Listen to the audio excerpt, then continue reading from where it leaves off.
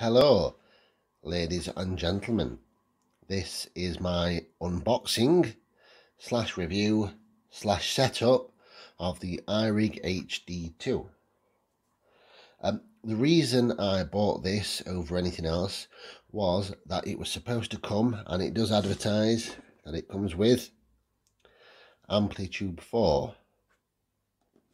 But there is a new thing on here, a sticker. Yeah, that's a sticker that now says that it comes with Amplitube 5 SE. So we'll find out soon if it truly does come with that. Um, let's open it and have a look what's inside.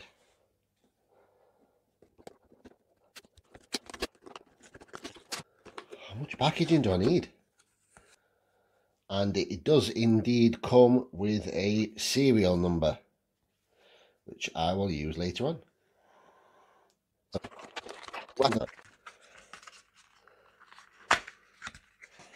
Right, there's the thing itself. I'm guessing this is just full of cables.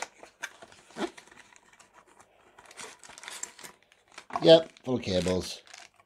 There's a strappy thing. Yeah, that's the old-fashioned USB cable, which is the one I will be using, as I intend to use it for PC. And then you've got these two. So one's a lightning, which I will not be using, but I will keep it handy and there is a USB-C as well. The first thing is to plug it in and let Windows do its thing. ikmultimedia.com forward slash registration. Download the IK product manager. After you've installed that, put in your serial number and you will get access to your software.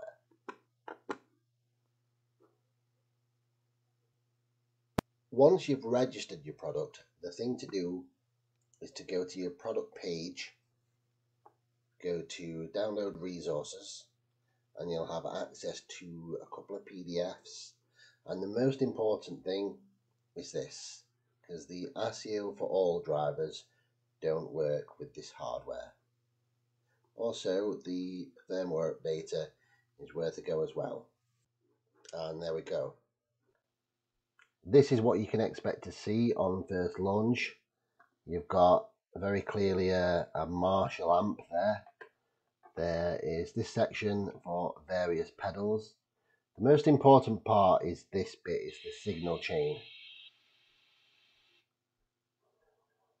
So you've also got various amps that you can choose from other than that one. Various different speakers you can use. You can just drag and drop as you need to into the signal chain. You'll then see it in the room. There are various mics to choose from. It really does sound like a mic'd up amp in the room. You can choose various different rooms and they all do sound different. You can even change the speakers. So I can put, say, um, an American 12K in here instead, or I can put even um, a green one in there. A greenback. There's lot, lots of things. There's even um, a rack effects unit. So you can put that where it goes after the amp. I am going to switch to this preset I'm quite fond of and give you a quick demo.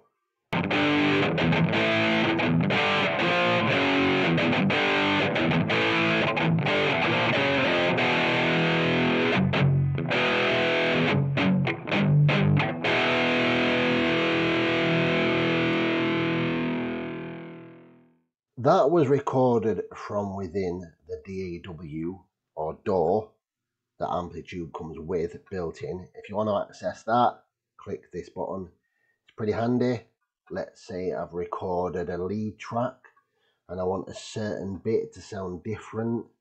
Say these first two bars. I can cut there, drag and drop, click here, go down to here, enable Amplitube for that track,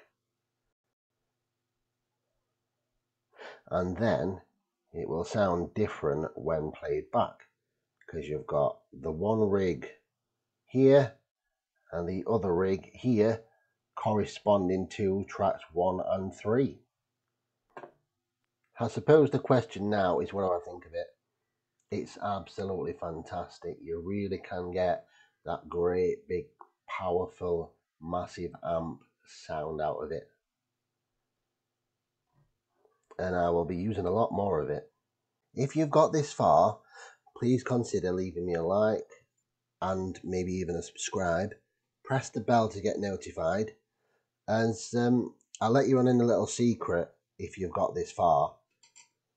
If you've already got an audio interface, there is an option to install something called Amplitube 5 Customer Shop, which is sort of a basic free version of Amplitube 5 with a little store that you can go in and buy various pedals and things, or you can just use that to try it out and decide if it's for you. Again, thanks for watching. Have a nice day.